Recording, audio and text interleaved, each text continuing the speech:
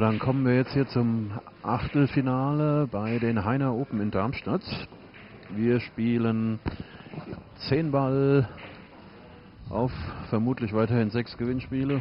Ja, denke ich eigentlich Im Winner Break. Wir haben heute am Tag zuvor das Turnier begonnen im Gruppensystem. Wir waren 64 Teilnehmer, die sich aufgeteilt haben auf 16 Vierergruppen. Dort wurde im Modus jeder gegen jeden gespielt und die ersten zwei jeder Gruppe qualifizierten sich für die Endrunde. Gesehen haben wir dann die Runde der letzten 32.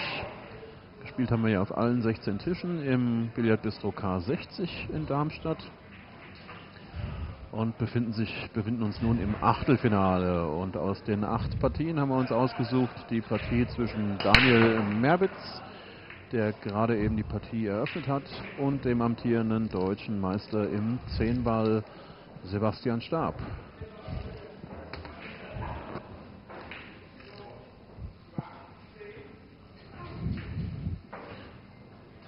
Wie immer auch mit am Start ist hier der Macher des Livestreams. Na, es ist kein Livestream, es ist ein Stream, den wir auf YouTube hochgeladen haben. Der Bernd Schmotz, der gerade noch das letzte Stück seines ersten Snickers heute runterwirkt. Ähm, es ist mein zweites. Zum zweiten Mal packt mich schon der kleine Hunger. ja, wenn so ein Billardturnier mal wieder länger dauert. Genau. Ich muss mich auch bedanken beim, beim Jochen, Jochen Maurer vom äh, Billardmagazin Touch. Ja, der hier so wunderbar, so toll hier mitkommentiert. Da bin ich recht froh drum. Jochen, du machst das richtig toll. Danke, danke. Doch, wirklich. Macht auch, macht auch sehr viel Spaß weil wir beide, glaube ich, so eine ähnliche Einstellung haben zu Billard. Manchmal liegen wir auch unter, liegen wir auch kontrovers in unseren Meinungen, aber das ist ja okay. Ja. ja und äh, hat sehr viel Spaß gemacht heute. Danke. Und äh, mach's gerne wieder. Hm? Darf an der Stelle vielleicht auch mal kurz Werbung machen in eigener Sache. Das Billardmagazin Touch wird jetzt morgen, also quasi wenn das hier auf YouTube hochgeladen ist, dann ist es schon gedruckt. Wenn wir von heute jetzt sprechen, vom 3. Oktober, dann wird es am 4. Oktober gedruckt und erscheint dann rund um den 8., 9., 10. liegt es bei den Abonnenten im Briefkasten bzw. bei den Vereinen. Und ein ganz besonderes Schmankerl diesmal, wir haben ein 48-seitiges Programmheft zur kommenden deutschen Meisterschaft mit drin. Das Plakat zur deutschen Meisterschaft wird mitversandt, also jeder oder fast jeder wahrscheinlich, der die Touch erhält oder erhalten hat, hat auch das Plakat und das Programmheft selbstverständlich mit drin. Insgesamt kommen wir raus mit 160 Seiten geballte Billiard Power. Wow. Das Ganze für 5 Euro. Also Sparpreis.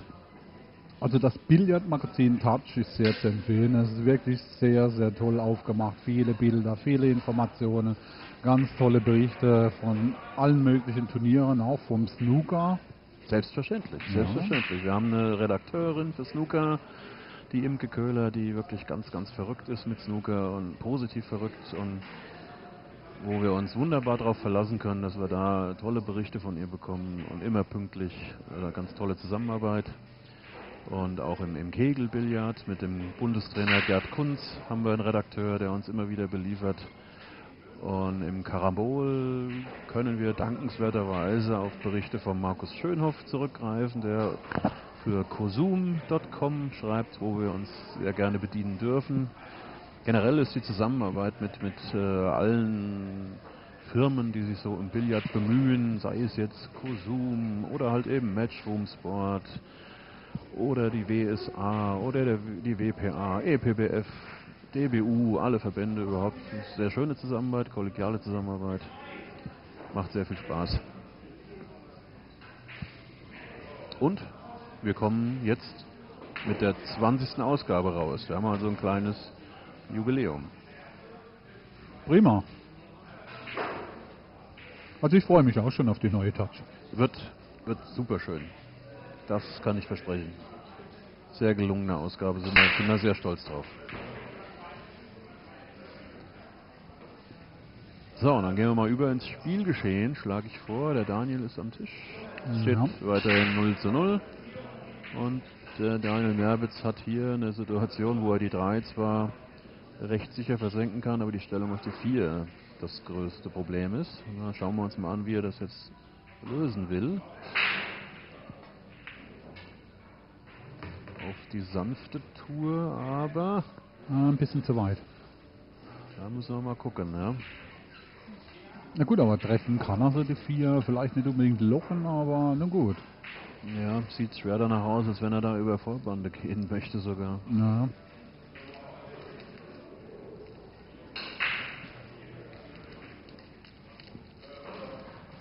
Warte mal. Warte mal. Jochen. Warte mal. Lass mich da Mhm. mal einschließen. So. Jetzt hast du mehr Kabel. Das sind zwar schon mal- Mikrofone, Ich werde nochmal neu. Kabel, Ja. aber man muss sich auch nicht allzu sehr einengen. So. Also ich glaube, die beiden, die tasten sich jetzt erst noch ein bisschen ab. Weil beide wissen voneinander, dass sie spielen können. Der Sebastian, ganz klar, ne, deutscher Meister, Gewinner von der Stuttgart Open, recht gutes und auch, auch qualitativ sehr hochwertiges Turnier. Ne. Oliver Ottmann, Christian Reimaring, Dominik Jensch hat auch mitgespielt, Mario Ja. He, ne, also tolles Feld. Da waren viele Leute aus dem Weg zu räumen, bevor er die Stuttgart oben gewinnen konnte. Ja. So ist es genau. Das weiß der Daniel Merbitz natürlich auch. Wobei auch der Sebastian weiß, dass der Daniel spielen kann. Der kann spielen. Der hat vielleicht noch nicht die großen Erfolge eingefahren, aber den darf man nicht unterschätzen. Nee, keinesfalls. Vor allen Dingen auch nicht bei sechs Gewinnspielen. Ja. Also schön gemacht jetzt, hat, ja, genau. Distanz rein, Sicherheit. Die vier nicht direkt spielbar.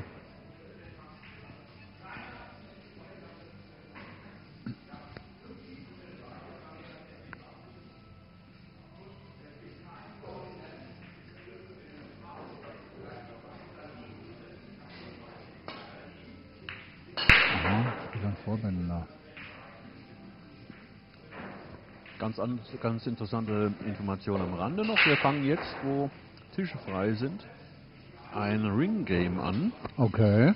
an dem sich, so ich das sehe, so ein halbes Dutzend bis acht Leute beteiligen. Und da werden wir mal gucken, ob wir da Informationen bekommen über den Stand, während wir hier das Achtelfinale noch verfolgen. Das sind natürlich jetzt alle Spieler, die bereits schon aus dem Wettbewerb ausgeschieden sind. Und wenn ich mal so rüberschaue, dann sehe ich den David Wu, den wir gerade im Livestream hatten. Dann sehe ich den, äh, die Ina Kaplan. Ich meine, den Christian Brehme zu erkennen von hinten. Was ist eigentlich aus dem geworden? Hast du das verfolgt? Wann ist Christian Brehme denn ausgeschieden? Das ist eine gute Frage. Bei welcher Gelegenheit? Das ist eine gute Frage. Ich weiß es nicht.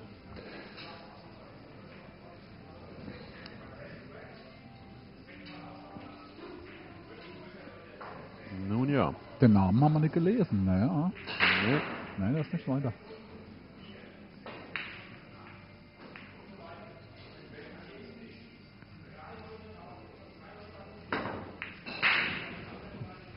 Sebastian Stab spielt übrigens weiterhin oder jetzt wieder für den PBC Joker Altstadt. Das ist quasi sein Heimatverein, zu dem er jetzt wieder zurückgekehrt ist vor geraumer Zeit und mit dem er jetzt in die äh, Regionalliga aufgestiegen ist. Aha. Zusammen mit äh, Ralf Wack und Jörg Kohl. Die beide oder alle drei zusammen haben früher in Bexbach gespielt. Auch Bundesliga in Bexbach gespielt und jetzt mittlerweile sind sie geschlossen zu Joker Altstadt und gelten da als Topfavorit auf den Zweitliga-Aufstieg. Jetzt haben sie allerdings am ersten Spieltag schon einen Punkt abgegeben. Ups. Ganz überraschend. Gegen einen Mitaufsteiger, und zwar gegen den PBC Gießen. Stand zum Ende 4-4. Also Aha. da wurden schon die ersten Federn gelassen, aber wie man so eine Billardsaison kennt, da lässt jeder mal Federn. Und für mich persönlich gelten sie weiterhin als Top-Favorit, weil sie einfach am ausgeglichensten sind. Und mit dem Sebastian einen Spieler in ihren Reihen haben, der fast immer beide Spiele gewinnen wird. Ja. Also Ralf Wacke weiß ich zum Beispiel auch, ist ja eigentlich ein Urgestein gell, im Ja. Saarland. Ne? Ja.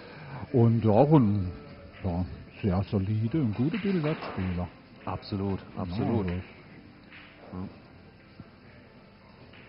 Aha. Die werden ihre Punkte machen, definitiv. Die haben Ja. auch dann das zweite Spiel, kann man ja gleich noch sagen, haben sie gegen Marfelden-Waldorf 2 gespielt, in die zweite Auswahl und äh, haben dort 7-1 gewonnen. Das war völlig ungefährdet.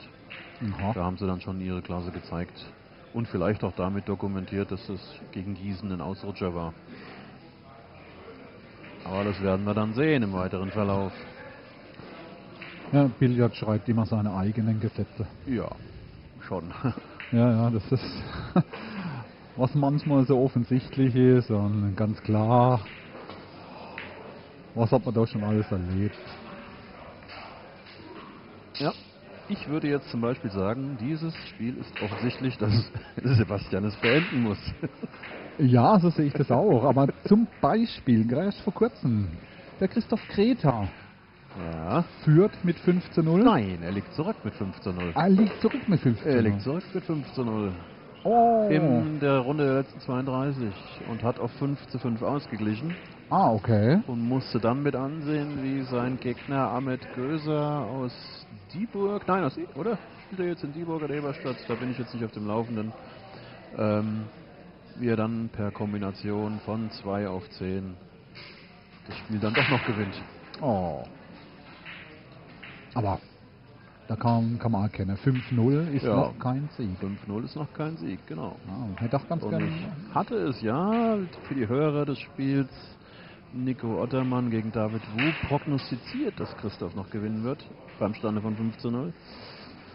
Fast, fast hätte ich da richtig gelegen. Ja, So, ja anscheinend hatte ich ist, das Sebastian jetzt auch gehört. Ja? der ist auf dem Weg zum 1-0, ganz sicher. Mhm. Na gut, die ersten paar Aufnahmen, die waren wir uns so ein bisschen zum Abklopfen, äh, zum Revier abstecken, sich mal ein bisschen beschnüffeln. Viel Sicherheitsspiel. Ja, Ja.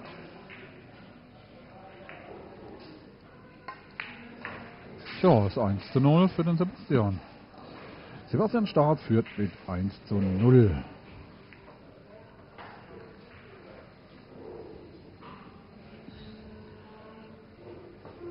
Was?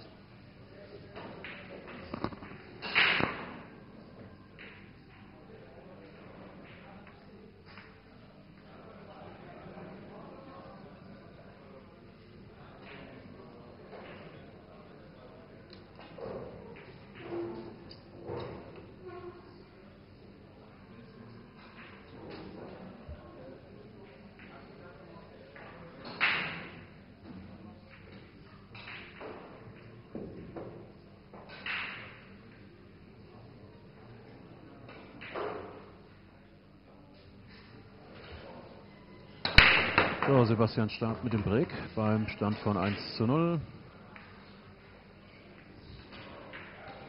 Na, gespielt wird immer noch auf 6 Gewinnspiele. Ja.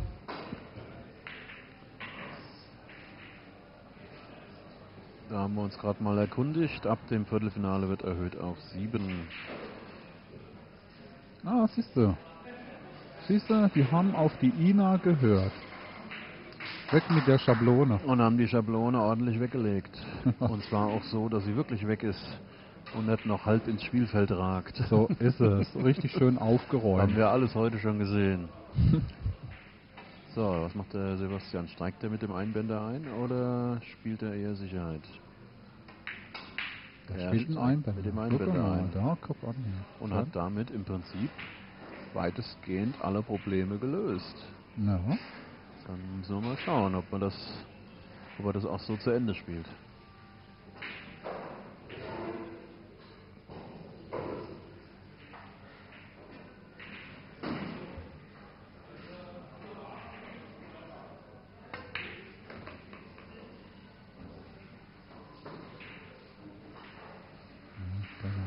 Der Sebastian, der hat ja auch einen ganz tollen Stoß. Ja, ja doch. hinten mit der, mit der rechten Hand ist er etwas, äh, ich glaube, nach innen. Wenn du mal auf, seine, auf sein Handgelenk achtest, Ja. auf sein rechtes Handgelenk, das dreht sehr nach innen. Sieht's Ah ja, doch hier stimmt. ganz das- gut. Ja, ja, hier sieht man. Ja. Ja. Ja. Aber es hindert ihn nicht daran, trotzdem einen geraden, schönen Stoß nach vorne zu haben. Ja.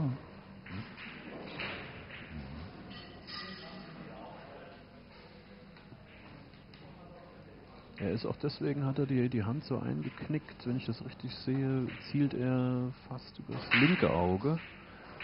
Und er muss natürlich irgendwie zum linken Auge hinkommen und deswegen knickt er da ein bisschen ein hinten. Ah. Die Führhand sozusagen. Müssen wir mal im Folgenden weiter beobachten. Also schulmäßig ist es nicht. Ja, ja, er hat ziemlich was linke. Man sieht jetzt genau. Ja. Ja. Ja. Aber wenn wir uns die ganzen Philippinen und so anschauen, da sehen wir auch öfter mal Techniken, die jetzt nicht schulmäßig sind. Aber effizient. Heißt jetzt nicht zwingend, dass man keinen geraden Stoß hat. Ja. Ja. Auch ein Oliver Ortmann schwingt genau andersrum als jetzt Sebastian Stab. Der schwingt eher mit, mit dem Handgelenk nach außen. Und niemand käme auf die Idee zu sagen, dass er keinen geraden Stoß hat. Ja.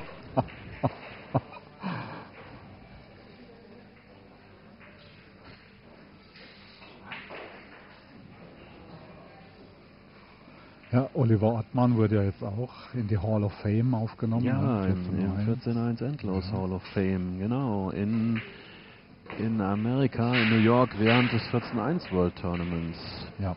Da hat der Ralf Eckert eine schöne Rede gehalten, die man auch auf YouTube sich anschauen kann, selbstverständlich auf Englisch.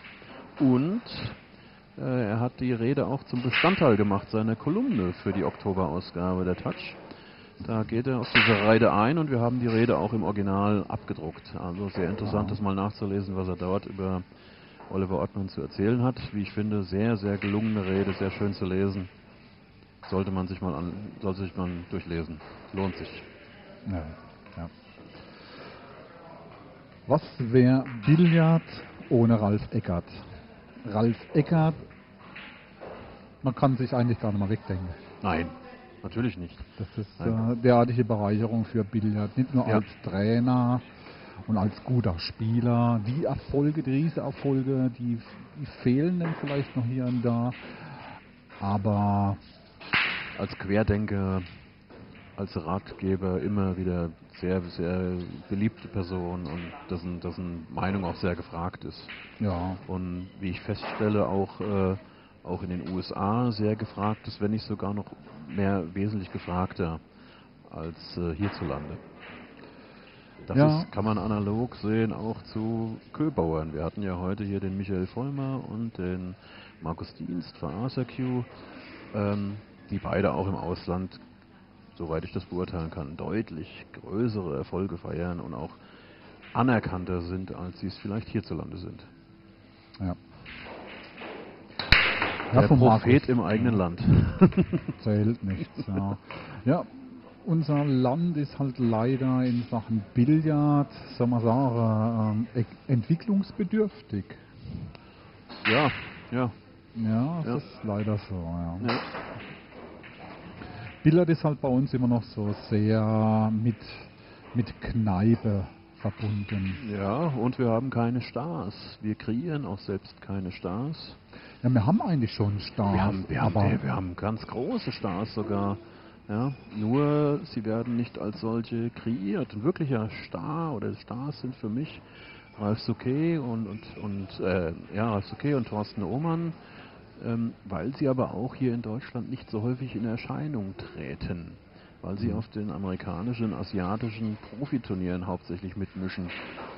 Alle anderen mischen hier in National mit und sind quasi Gäste bei jedem Turnier, bei jedem x-beliebigen Turnier und spielen bei jedem x-beliebigen Turnier gegen jeden x-beliebigen Spieler.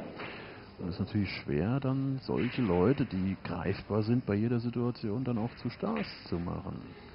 Ja, ein Ronnie O'Sullivan wird bestimmt auch nicht beim Snooker-Turnier in Rüsselsheim mitspielen oder in München oder wo auch immer. Ja. Während das bei beim Poolbillard schon so ist, dass diese Stars, Superstars, auch mal beim Turnier mitspielen. Ja. Ja? Ohne das jetzt hier abwerten zu wollen, Nein, hier in nein, Darmstadt, nein, nein. beim in Darmstadt beim besten Willen, aber wir sehen hier deutsche Meister Mhm. bei einem ganz normalen Turnier. Ja. Ja. Ja. Und da ist es natürlich dann so, es spielt jetzt hier ein deutscher Meister gerade vor unseren Augen, wo man eigentlich die Frage stellen könnte, gibt es nicht Turniere, wo diese Leute sich eher drunter messen könnten? Wäre vielleicht mal ein Ansatz. Wäre ein Ne? Ansatz, ja. Ja, also wäre etwas, was man überlegen könnte. Gut, es müsste halt jemand mal in die, Ha- jemand in die Hand nehmen, Und müsste es da- initiieren. Da braucht man halt Geld dazu. Ja, das ist klar, definitiv klar. ein Thema, wo man Geld dazu braucht. Ja, und vor allen Dingen braucht man auch den Willen, das Rückgrat, die Standfestigkeit und halt auch die Kontakte dafür. Ja, Na? definitiv. Aber an allererster Linie vorne steht leider Geld.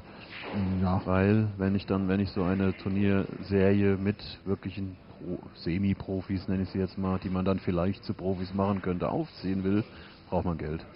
ja. Ja. So werden wir dann weiterhin die deutschen Meister und Weltstars auch bei diesen Turnieren natürlich sehen. Ne? ja, ja. Ich vergleiche das gern mal mit, mit Tischtennis, was ich auch bestreite. Also ich kann mir nicht vorstellen, dass ich bei irgendeinem Turnier auf Timo Boll treffe.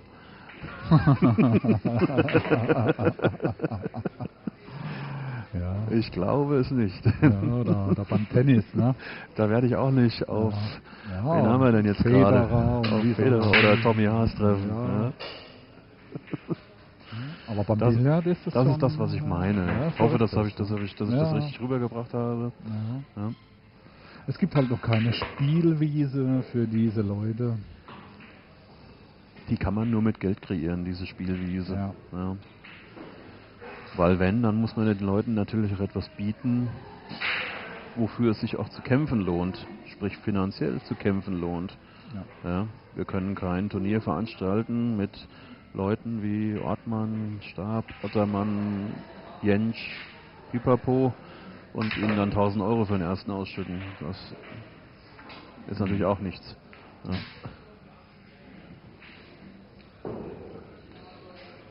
Ja, der Sebastian, der macht sich auf.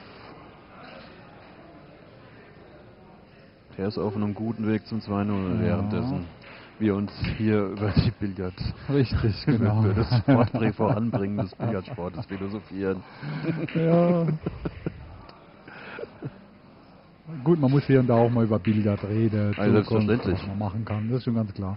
Aber man muss auch mal gucken, dass man was macht. Das ist auch richtig. Ja. Ja, und das, was ich jetzt gerade in den letzten zwei, drei Minuten angesprochen habe, ist sowieso nur ein Traum. Ja. Das ist, daran sollte man sich nicht aufhängen, weil das ist so weit weg wie der Mond. Ja. Ja, da gibt es andere Felder, wo man sich jetzt im Moment sinnvoller betätigen kann, wo man dann mehr erreicht in kürzerer Zeit.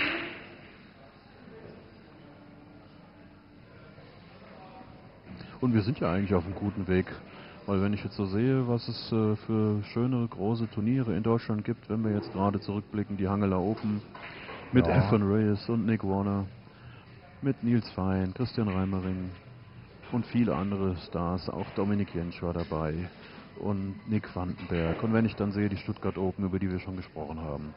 Wir haben mal kurz vorhin in einem anderen Spiel anklingen lassen, Neckarsulm. Mhm. Top besetzt.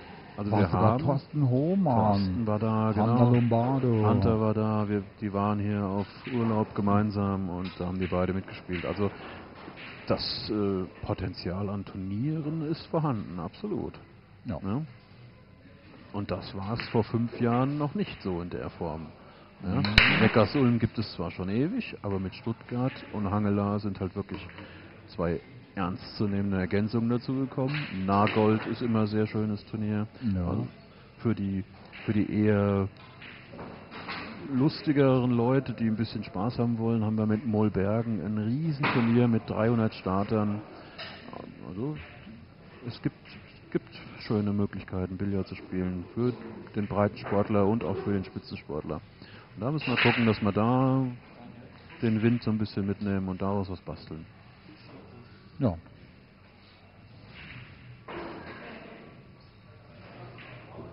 Eine deutsche Rangliste wäre zum Beispiel sehr wichtig in meinen Augen. Ja, das wäre gut. Ja, ja. dass man diese Turniere zusammenfasst und daraus eine deutsche Rangliste entwickelt, damit wir wirklich mal sagen können, du bist im Jahr 2013 der Beste, weil du da gut abgeschnitten hast und da gut und da gut und da gut. Dann haben wir schon mal einen guten Schritt gemacht zur Popularität von einzelnen Spielern, die dann einfach so bestätigt sehen, ich bin die Nummer 1. Richtig, ein Anreiz, eine Motivation auch wiederum. Ne? Ja, auch für jeden, weil in dieser Rangliste taucht ja jeder auf. Ne? Jeder, der irgendwann mal bei den Turnieren teilgenommen hat, die in eine Wertung einfließen, der taucht dann auch in der Rangliste auf.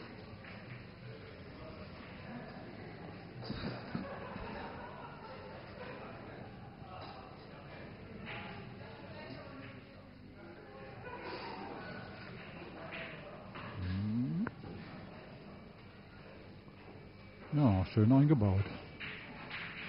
Ja, bisher konnte Daniel Merwitz noch nicht so ins Spielgeschehen eingreifen. Ja,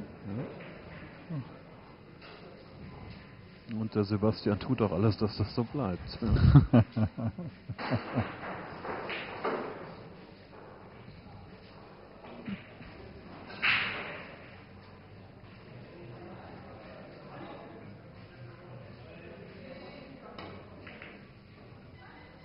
gut, sehr gut. Ui, großes Kino. Zwar nicht so in der Perfektion beabsichtigt, aber Mhm. sehr gutes Resultat. Ja.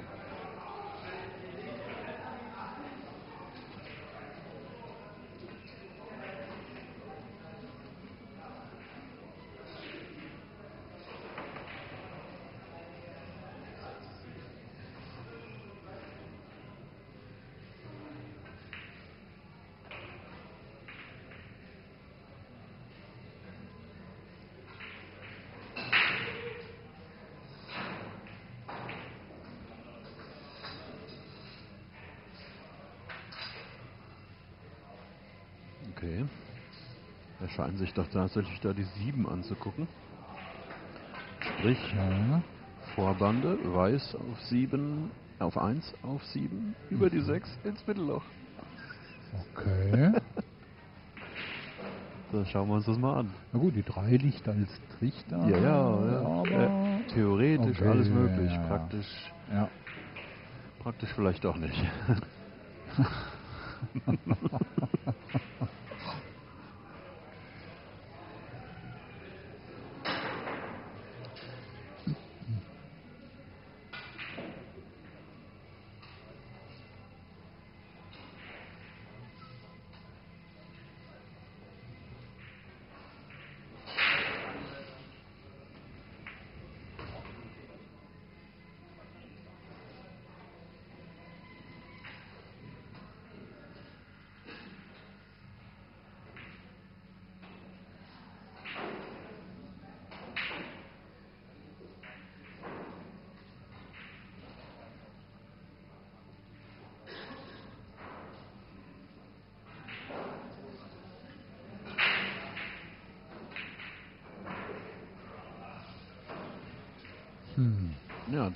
Merwitz hat jetzt hier das Problem, dass er zwar die 2 lang versenken kann, aber die Position auf die 3 im Prinzip eigentlich nur mit viel Links-FE möglich ist. Und das macht es dann wieder schwer für die 2 zum Versenken. Ja, Oh, sauber. sehr Sauber. Ganz stark. an.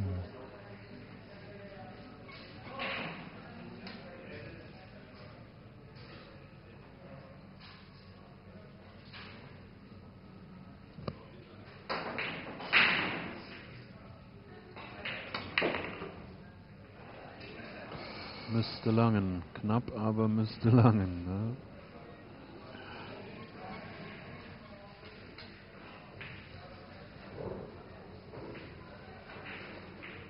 Ja, scheint zu reichen, ja.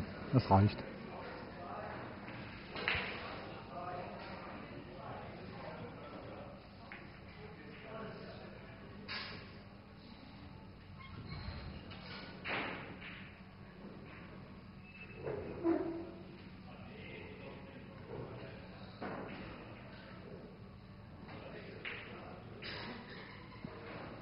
Scheint er trotzdem nicht glücklich mit zu sein. Es geht aber, glaube ich, nicht ums Versenken der 5, sondern eher um die Stellung, wo er sich wohl einen Kopf macht. Also Ja. ich meine, dass die 5 doch sicher zu versenken ist. Ja, das Eckloch ist zu durch die 10. Na, das kommt sowieso nicht in Frage, aber für meine Ja. Begriffe müsste er die einfach nur mit rechts unten und das Ganze wesentlich lockerer. Aber Okay. er geht jetzt den umgekehrten Weg. Aber der war ja auch gut. Ja.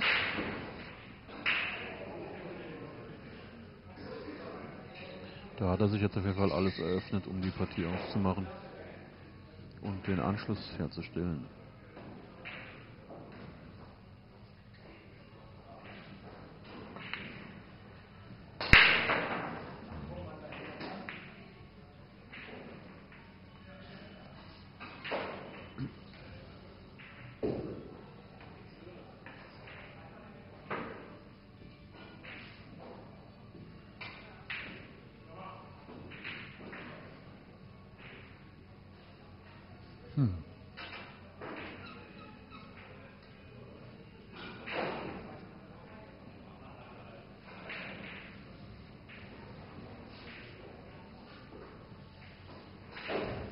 Jetzt spürbar ein bisschen Tempo rausgenommen, habe ich so den Eindruck.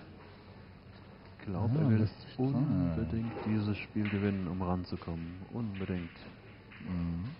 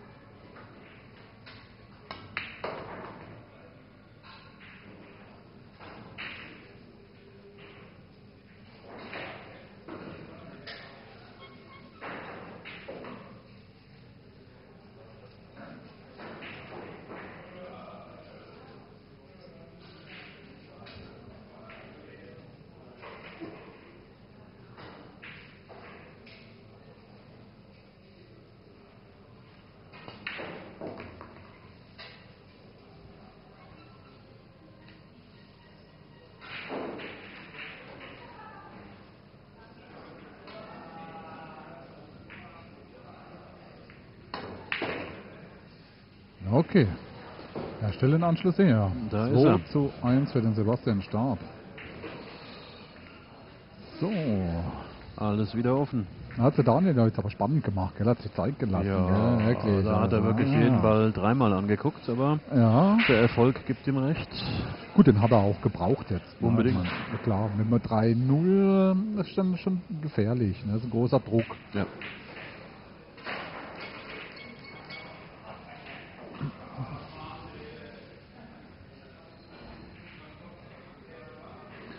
Beim Sebastian kannst du das auch hinten schön lesen auf dem Rücken. PBC Joga Altstadt. Sein Genau. Verein. Aus dem Jahr 1989. Ja, Also 24 Jahre BBC Joker Altstadt. Nächstes Jahr große Party zum 25. Schon vormerken. Okay. Vielleicht fragen sie mich an zum Filmen. Hiermit also der Aufruf von Bernd an Joker Altstadt. Wenn ihr also feiert nächstes Jahr, Sag Bescheid. sagt Bescheid. Ja, der Daniel hat ein bisschen Glück gehabt beim Break, ne? Die Weise hat Ja. im Mittelloch geklappert. Ja. Ja, ja. also, Dafür ist das Resultat natürlich jetzt überragend. ja. Sieht die 1, Position 2 ist möglich. Macht er auch super. Dann. Und jetzt hat er mehr oder minder offenes Feld, um hier den Ausgleich herzustellen. Ich glaube, der schießt es auch aus. Es sind auf jeden Fall keine größeren Probleme mehr sichtbar. Mhm. Da liegt wirklich alles schön. Da ist eigentlich jetzt das größte Problem, dass er jetzt ein bisschen übergreifen muss, um richtig sie zu positionieren. Über die 10 muss er ein bisschen drüber mit der linken Hand. Das ist unangenehm. Ja.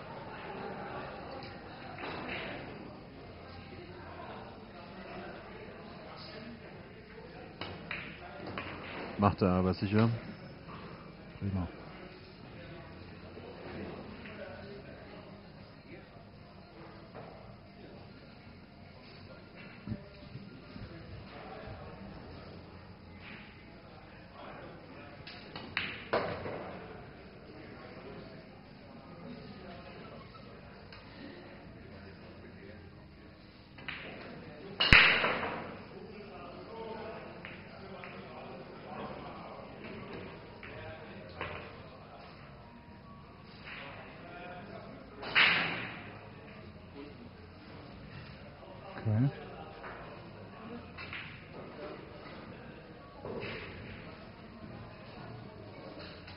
So, neben uns wird jetzt hier einfach Pizza gegessen und, Oh.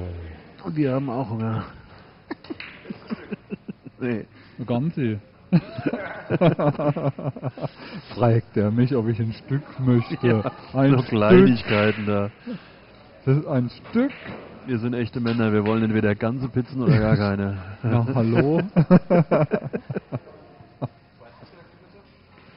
Bitte? Okay. Haben wir schon Endergebnisse in der was Runde? ist Das das, ist ja für ein Ergebnis? das ja hier. Ui. Der Ernst Schmidt aus Gera schlägt den Dennis Rathmann mit 6 zu 0. Mein lieber Mann. Und der Martin Witzke, den wir ja vorhin erwähnt haben in unserem Stream, der vor 15 Jahren mal die, wie hieß das Turnier, Insel Open gewonnen hat und in die French Open gewonnen hat.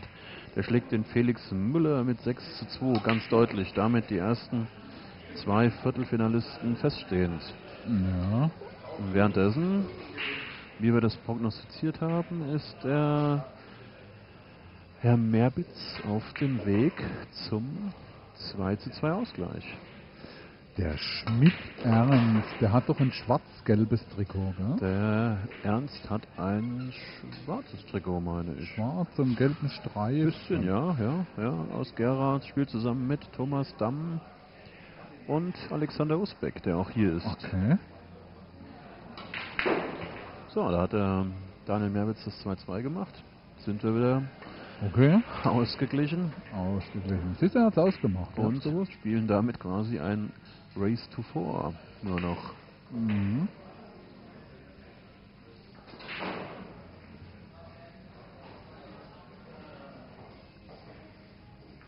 Ja, der Daniel Merbitz ist hier absolut ernst zu nehmen im kompletten Turnier. Und das spürt jetzt auch der Sebastian Stab.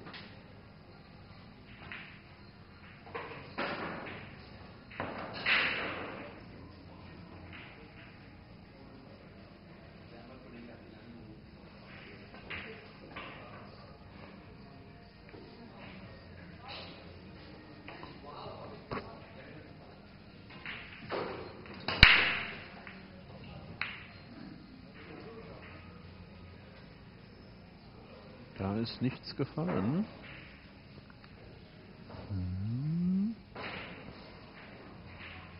Da ärgert er sich ein wenig. Aber was will er machen? Jetzt bleibt nur zu hoffen, dass der Sebastian nichts daraus, oder kein Kapital daraus schlagen kann. Ach, guck mal, der schaut sich das an. Ich glaube, der möchte jetzt mit der 3 möchte der bremsen. So ist es. So ist es. Und damit ja, auch natürlich die 3 in eine bessere Position bringen. Noch dazu, ja. Ja, weil im Moment steht, liegt sie ja da etwas unglücklich. Und ist natürlich dann auch von Vorteil auf die Position 2, oder? Alles, alles, er, wenn er das schafft, löst er quasi eigentlich alle Probleme Ja. mit einem Stoß.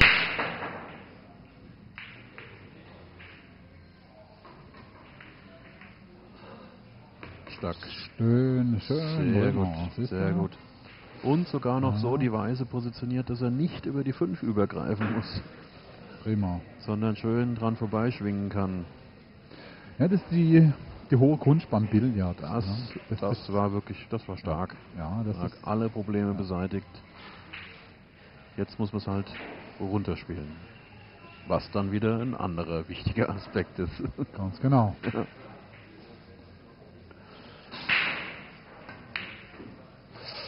Und da haben wir es. Da haben wir's verschrien. An, ja. Ja. Der Ball danach, sagte Ralf Eckert in seinem Buch Ja, die, Die, große letzte Freiheit. Ja, Die letzte Freiheit. Die große Freiheit ist in Hamburg. richtig. Die ja, letzte die Freiheit letzte ist Ralf Freiheit. Eckert. Man möge es mir verzeihen. Der Ball danach. Ja, Ball danach, ja. Das ist aber wirklich so, gell? Absolut. Äh, Ralf hat das Ja. nicht äh, ohne Hintergedanken geschrieben. Das ist Ja. schon alles so. Ja, der Daniel, Ja. schon wahr. Aber, Ja. genau, Sebastian wieder zurück am Tisch, weil er nämlich eine ganz schlechte Position hinterlassen hat und er dann in Merbitz daraus auch nichts machen konnte. Mhm. Zweite Chance.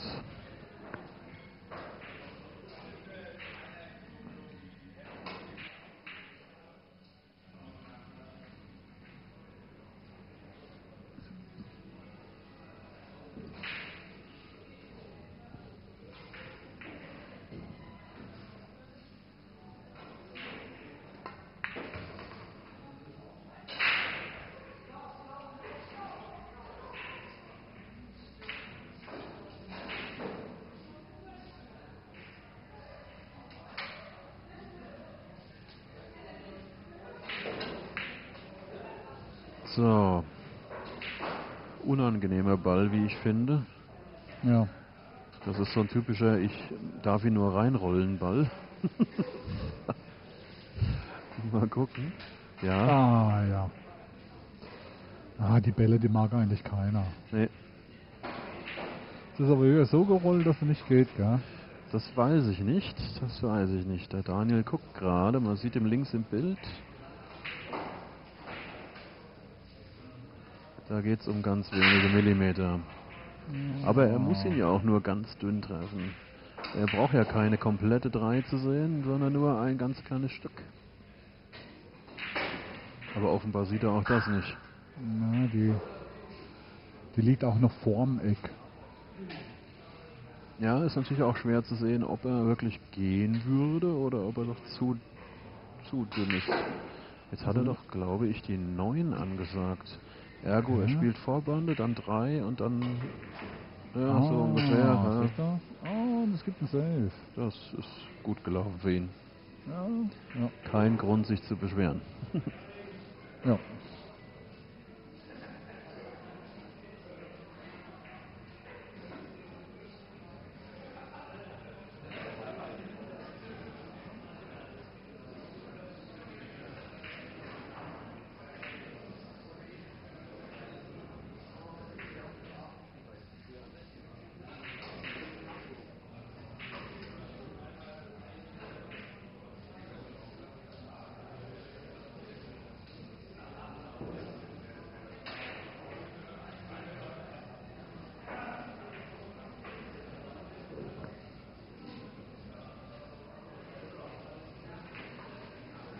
Vor zwei Minuten war die Partie noch ganz offen für Ja. Sebastian. Und jetzt wird es ein Rumdoktern um die 3. So schnell geht's.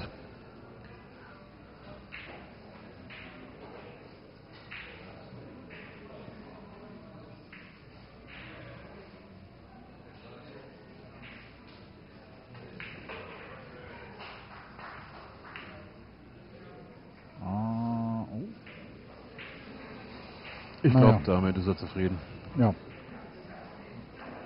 Ja, er hätte gern das Safe gehabt, Klar, also die klar. Seite hinter die vier, aber Absolut, aber damit kann man, glaube ich, leben, weil Daniel Merwitz da für meine Begriffe keine Chance hat, eine Kugel zu versenken, muss seines Erachtens, eines Seiten, seinerseits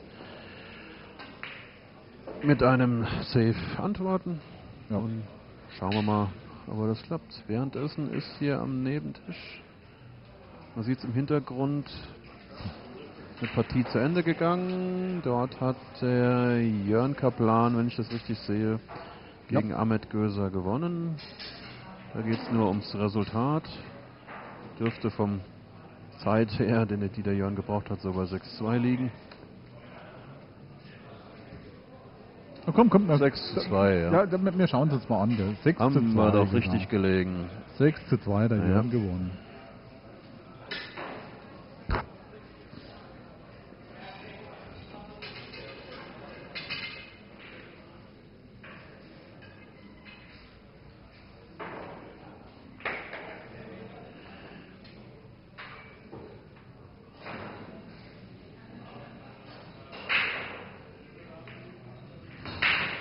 Also, und dann hat der Sebastian Stab jetzt hier die Möglichkeit, mit einer Kombination 4 auf 10 auf 3 zu 2 zu stellen. Mal schauen.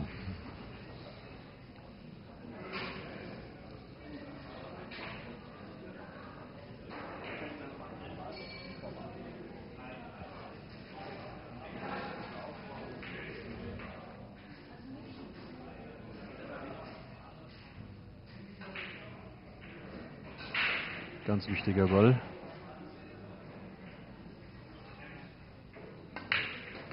Ja, ganz sicher. Das ist 3 zu 2 für den Sebastian Stab. Ja, ist auch eine Option. Kombi auf die 10. Ja, wenn sich das so anbietet, Ja. dann muss man das auch mal machen. Ist zwar eine Option, die so Spieler wie Kaliber, Sebastian Stab seltener zu Rate ziehen, als es Leute aus unterklassigen Vereinen vielleicht oder Ligen mal tun würden. Mhm. Weil einfach die Gefahr eines Verschießens auch gegeben ist und dem Gegner dann quasi offenes Brett zu hinterlassen. Aber in dem Fall war es schon jetzt eine offensichtliche Kombination, die man annehmen muss.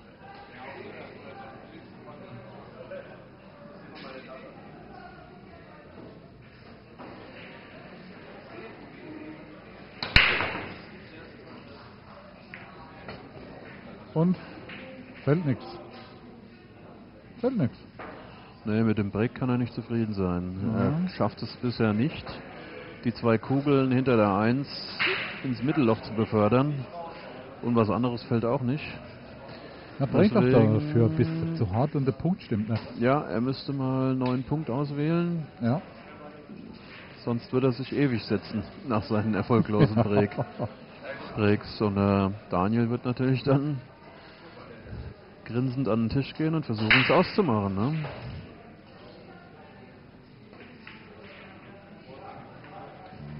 Starker Ball. Starker Ball.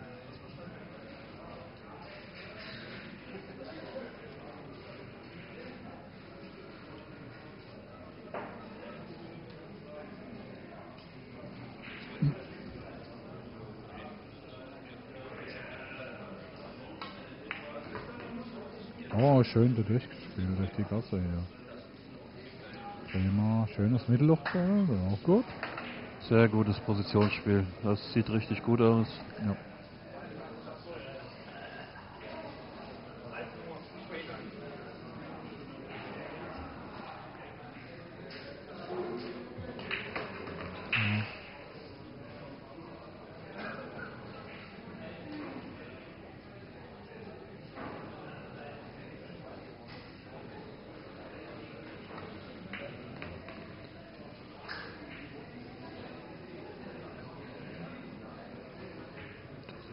Oder Bernd? Das sieht gut aus. Da passt die Stellung im Moment. Alles.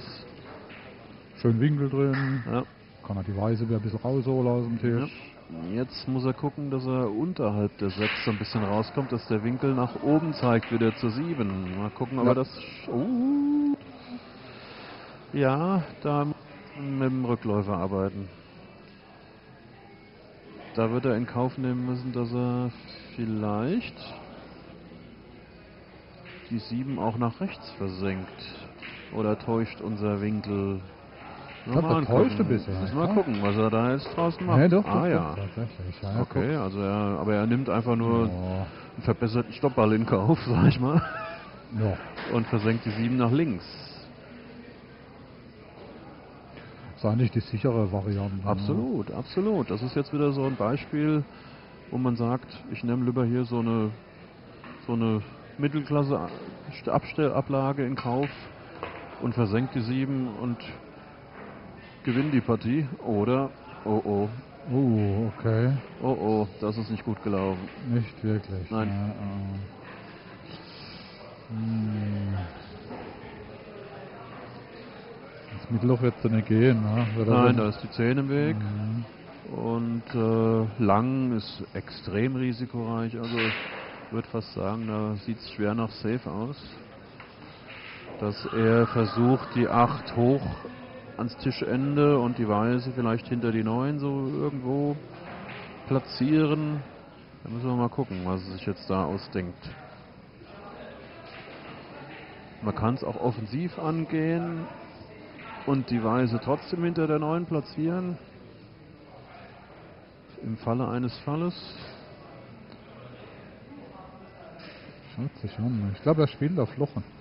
Ja, aber mal, also er sollte auch darauf achten, dass die Weiße hinter der 9 bleibt. Also quasi Ja. da, wo die Kreide jetzt liegt, irgendwo da zum Liegen kommt. Ja, geht, ja, Und dann, und dann lieber eine 9 auch lang ins Eckloch in Kauf nehmen. Ja, schauen wir mal. Das ist doch gefährlich jetzt, ne?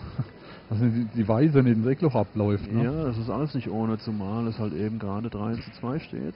Ja. Und das von unfassbarer Wichtigkeit ist, wenn er jetzt diese Partie nicht macht, steht es 4-2 und Sebastian prägt. Und vielleicht hat er bis dahin sein Breakjahr gefunden.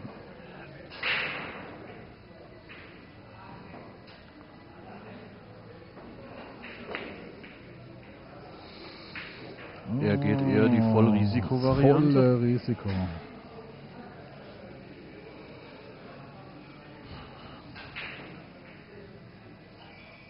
Da wollte er zaubern.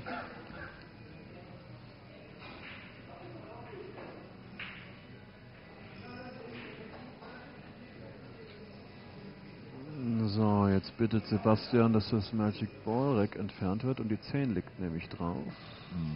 So, da haben sie es jetzt gemeinsam entfernt.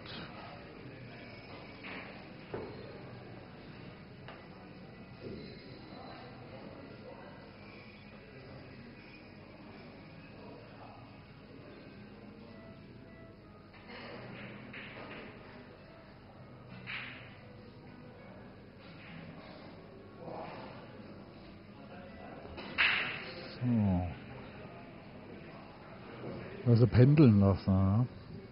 Uns mal an die lange Bande ein bisschen raus. Einmal zu an die lange Bande und dann wieder raus Richtung Tischmitte, ja. Oh ja, schön. So in etwa. um nicht zu Ja. sagen, genauso. Genau so. Der hört uns. Ja. Er nimmt unsere Ratschläge aber auch gerne an. Ne? Ja, ja, wir diktieren ihm da schon das Spiel auf. Ja. Sebastian hat die Stuttgart Open auch nur wegen uns gewonnen, weil wir es damals fern kommentiert haben. Ne? Ferngesteuert. Genau. Geistig waren wir voll dabei. So wird es gewesen sein. Allerdings Wow. hätten wir diesen Stoß jetzt nicht geplant, so, aber er macht so. Okay. Das ist natürlich auch sehr, sehr konsequent. Siehst du aber, der lässt ihn einmal aus dem Auge und lässt ihn einfach mal machen. Ne? Ja. Was macht er? Ja, und schon geht er über vier Banden.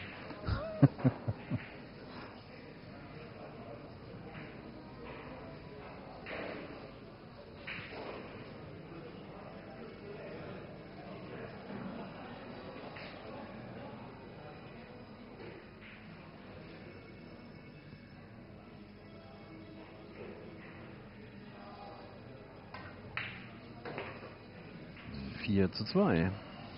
Okay. Da haben wir die Situation, die Daniel Merbitz natürlich unbedingt vermeiden wollte. Jetzt läuft im Rückstand hinterher. Genau. 4-2 ist Und jetzt schauen wir mal, ob der Sebastian Stab beim Break erfolgreicher sein wird, als er es bisher war. Ob er mal eine Veränderung vornimmt. Gucken, ob das für uns zu erkennen ist. Ja, absolut. Das ist leicht zu erkennen, Ja. weil von der Mitte hat er noch nicht geprägt. Okay. Aber normal müsste eigentlich so die Kugelbreite neben der Punkt. Tendenz würde ich auch sagen, ein bisschen nach links oder rechts, aber Ja. er macht es jetzt mal von der Mitte ganz klassisch. Okay. Kneipenanstoß. Die Weiße muss auf der Punkt. ist ganz klar. Ah, Oh Gott, ah guck an. Den. Punkt wird er beibehalten, wenn jetzt noch die 1 noch besser wäre. Ja. Aber nun gut, er ist am Tisch, er kann entscheiden. Also er kann jetzt noch irgendwie ein bisschen. Er hat es in der Hand. Richtig, Genau. genau. Er Ja. kann noch diktieren jetzt. Ja. Wenn nichts fällt. Ist blöd. Ja. Äh,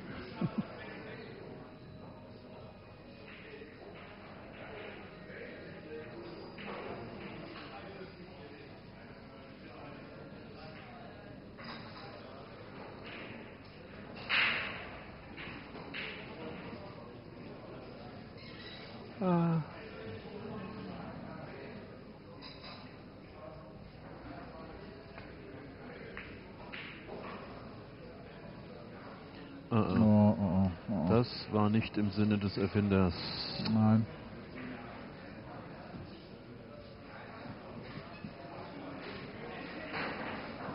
Das sind auch so Situationen, die sind derartig missglückt, dass man gar nicht mehr nachvollziehen kann, was er eigentlich vorhatte.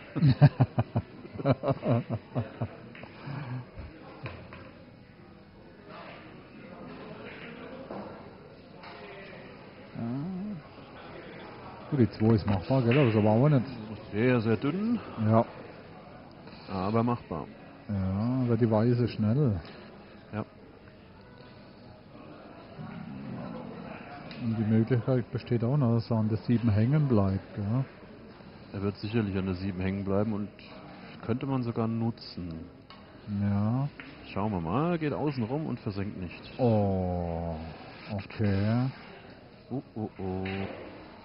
Ich Das glaube, ist natürlich geht auch jetzt-. Die geht und das ist Ja. natürlich jetzt eine ganz entscheidende Phase. Ja, Weil wenn Sebastian es jetzt schafft, die Partie durchzubringen, dann ist er on the hill eine Partie noch entfernt vom Sieg. Das ist jetzt ganz entscheidend.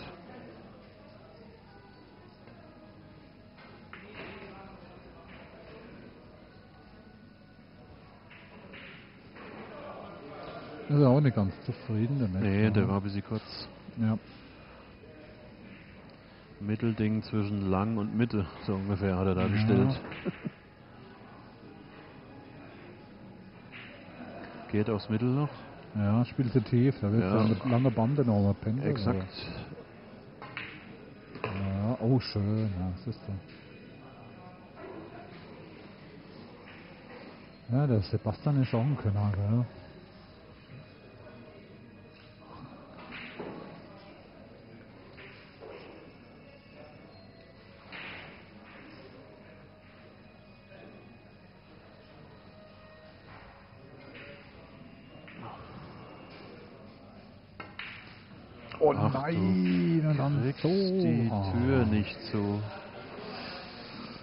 Hätte ich jetzt auch nicht gerechnet. Nein, da war er eigentlich über alle Probleme hinweg. Ja. Aber vielleicht ist das jetzt so eine Phase, wo jeder irgendwo zwischendrin mal hat, einen Hänger. Ja, ja, wir spielen ja immerhin schon. Wie viel spielen wir? Wie viele Stunden? Neun? Hat um 11 Ja. angefangen, ich weiß gar nicht, Ja, wie wir das ich haben. glaube, wir haben jetzt 20 Uhr, also Oh, spielen wir jetzt ja. seit neun Stunden im Turniermodus und dadurch, dass wir das Gruppensystem hatten, Ja. ist man ja sehr häufig am Tisch. ja. Und da spielen die jungen Jungs jetzt hier schon. Oh, du kriegst ja jetzt. Ach nein. Jetzt wird's unglücklich. Da kriegt Nein. Sebastian die Partie quasi zurückgeschenkt und das nutzt er jetzt heraus. Oh. Da liegt ja auch noch die 9 davor, ne? Eigentlich. Ja, aber er ist, äh, ist abgetropft von. Ja, von der hab's jetzt 6. gar Ja, von der 6. Ja, dann ins Mittel, Mittelloch gespielt dann. Ja, aber die Weiß ist davon irgendwo abgetropft. Von der 7. Ich habe es jetzt nicht genau verfolgen können, weil ich gerade mal nach links und rechts geguckt habe nach anderen Ergebnissen. ja also so wie Auf jeden das Fall ist die Weise sehr unglücklich gefallen. dann- Jetzt mal gucken, ob der Sebastian. Ja, das macht er jetzt. Ja. Das macht er, das lässt er sich nicht nehmen. Lässt jetzt die Weise unten über zwei, drei Banden laufen. Da passiert nichts mehr.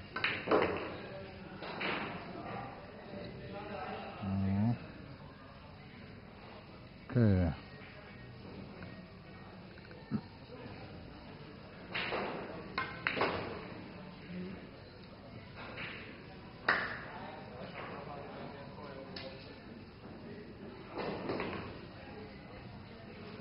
Haben wir irgendwas verpasst?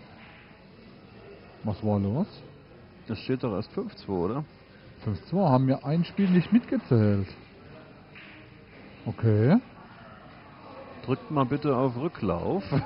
also das ist okay, Replay. uns beiden völlig. Haben wir uns so verschwatzt, dass wir ein. Spiel nicht gezählt haben? Ja, genau. Hallo? Da haben wir wirklich Okay. viel geschwätzt und haben ein ganzes Spiel verpasst. Oder aber die zwei Jungs können erzählen, aber ich glaube eher, dass wir uns verschwätzt haben. Ich glaube es auch. Gut, So, dann. also dann. hat der Seppel das Spiel gewonnen und steht damit im Viertelfinale. Ja. Alles klar, dann bis zum nächsten Spiel. okay, danke. Tschüss.